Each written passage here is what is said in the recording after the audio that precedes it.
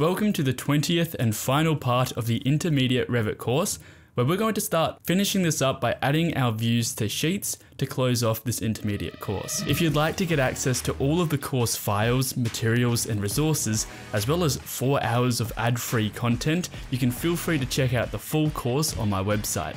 I'll see you there.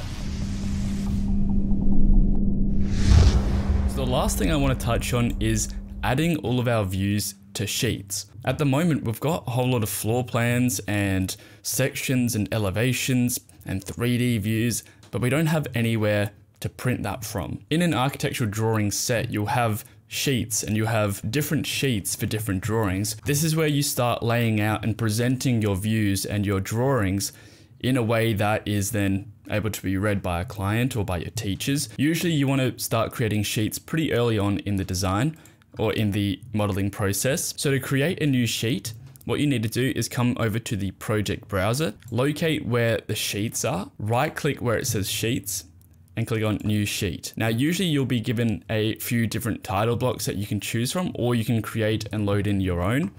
I'm just going to use the A0 metric landscape title block. And by loading this in, what you'll see is that our sheet now has a template to work off of. From here, what we can do is go through all of our views in the project browser and start to place them onto different sheets and start to organize our drawings in a way that is manageable. So let's say we want the ground floor plan to be on this sheet. The very simple way to do that is by dragging it onto the sheet. And you're going to see that this is a bit too large for the sheet. And that's because the floor plan hasn't been properly managed yet for this type of sheet. We haven't considered the scale of the view or what's being shown on this floor plan or the hierarchy of the floor plan. Really at the moment it's just a mess because that's the way we've been modeling up so far. But because we want to present this now, now we need to start thinking about all of those things and we need to start making this look really good. And that's what the whole next course is going to be about. It's going to be about how we then start to create documentation sets and sketch design sets and create schedules and legends of door and windows and all of this good stuff, which is very, very essential when it comes to the real world of documenting and designing in Revit.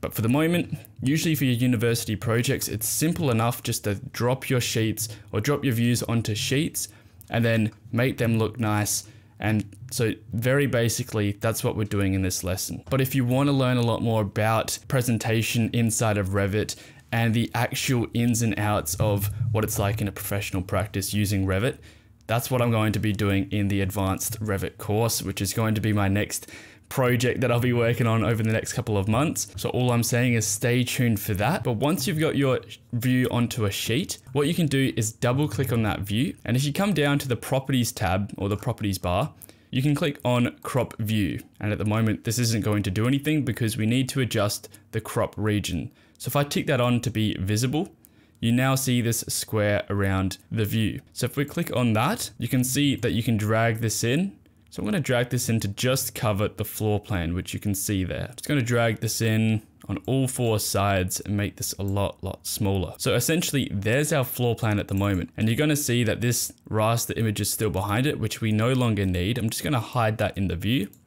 as well as the one behind that as well. We no longer need that.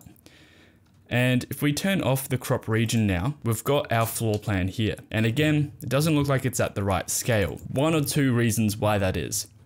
The first reason is because the sheet size is too big for the view. The view is at a scale of 1 to 100, and you can check that down here.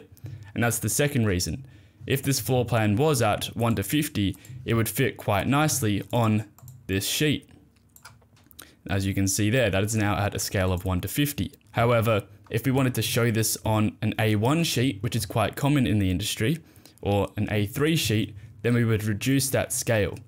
On an A1 sheet, this is more than likely going to be at a scale of 1 to 100, and that's determined by how that will fit on this sheet, so it may take a bit of playing around with the sheet size and the scale of the drawings before throwing all of your drawings onto sheets. So at a scale of 1 to 50, this looks good on an A0 sheet. You can see that we've got a very basic but automatically generated floor plan. And now we've got a base point for which we can start building this up and making it look really good and displaying the information that we need it to display. And this is the first sheet of the set. And if we click on the drop down here, you can see that this is A102, which is the sheet number, and that is automatically placed in this title block. So the title block contains a lot of information that is parametric. If we wanted to drop the site plan onto this sheet above, which I created by going new sheet, A0 sheet, then we can come over to where the site plan is in the project browser and drop that on as well. And again, this is going to need some moving around and a bit of love, which is what we will look at in the next course. So that's how you place views on sheets. That was a very basic lesson. Thank you so much for following through the entire intermediate course. I hope you got a lot out of it. I hope you enjoyed it. I hope I made it quite a pleasant experience learning this difficult and complex software. And until next time, take care. If you'd like to get access to all of the course files, materials, and resources, as well as four hours of ad-free content, you can feel free to check out the full course on my website. I'll see you there.